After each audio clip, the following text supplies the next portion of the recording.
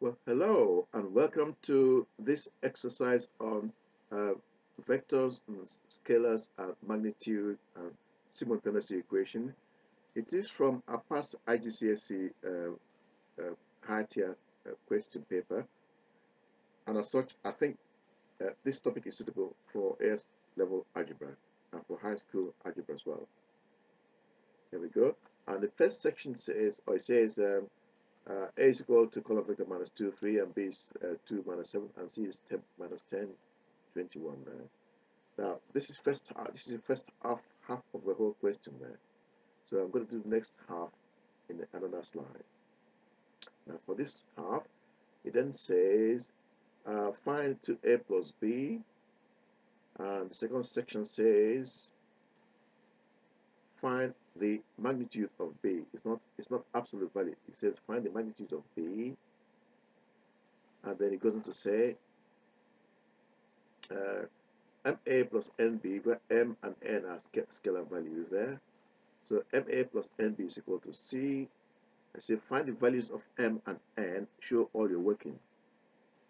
Okay now for the first one we got 2a plus b Uh, that's my 2, which is a scalar value there, and that's my a, which is minus 2, 3, plus b, which is 2 minus 7. Okay. If I expand these brackets here, I then end up with minus 4, 6, plus 2 minus 7.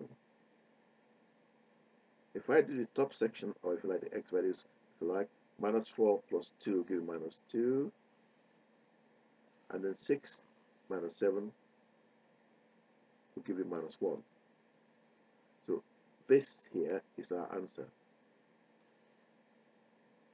Okay now for section 2 we want to find the magnitude of b.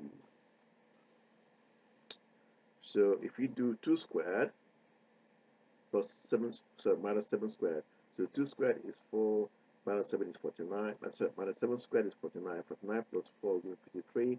So the magnitude of B it will be the square root of 49 plus 4, which will give me plus or minus 53. Now don't forget your plus or minus sign there.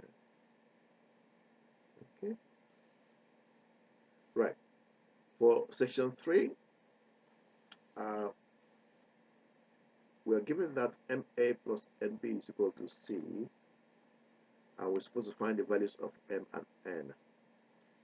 Now, don't forget that m is a scalar, so if I bring this outside the bracket there, I end up with m into minus 2, 3 plus n into 2 minus 7 is equal to minus 10, 21. Now, if I then say that minus 2m plus 2n is equal to minus 10, I call that my equation 1. Similarly, I can say that uh, 3m plus minus 7n is equal to 21 and that's my equation 2 if I then multiply equation 1 by 3 and equation 2 by 2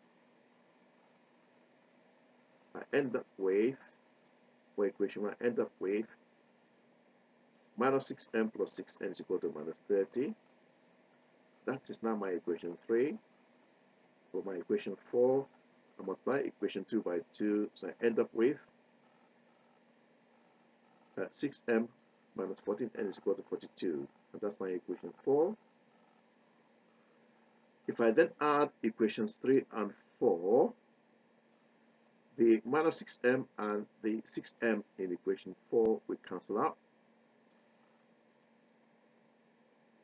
So I end up with 6n plus minus 14n, and that will give me